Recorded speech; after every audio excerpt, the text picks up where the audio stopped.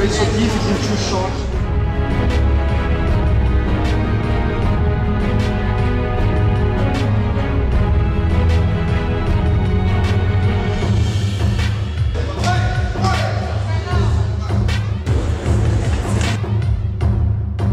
Tá mais uma vez essa história.